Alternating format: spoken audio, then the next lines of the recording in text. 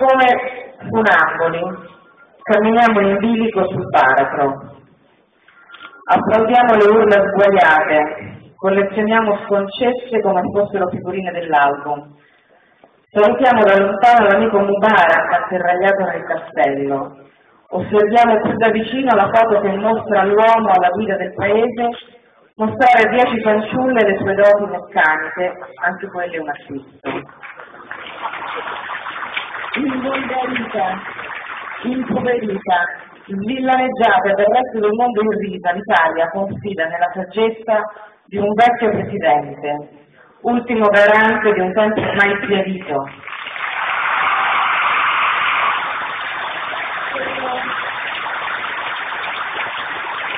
Il tempo, il tempo delle regole e dell'onore, della dignità e del dovere.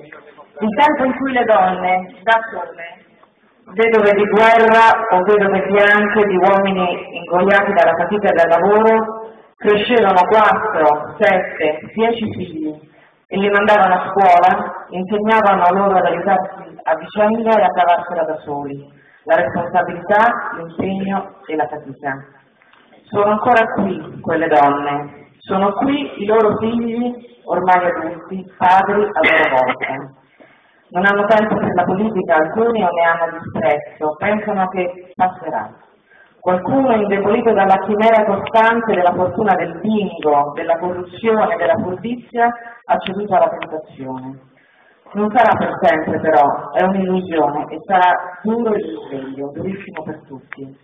È a loro che ci dobbiamo rivolgere, non a chi già sa, a chi non ha potuto o voluto sentire, alle ragazze che si prostituiscono per comprare il fuoristrada.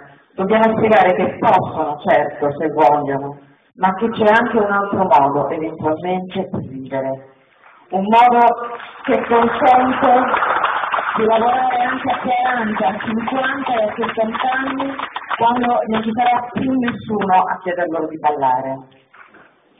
Dobbiamo mostrarglielo e dobbiamo pretendere un governo che lo mostri e che lo renda possibile, che renda giustizia a chi preferisce di no, come preferirono di no alcuni grandi uomini e donne del passato.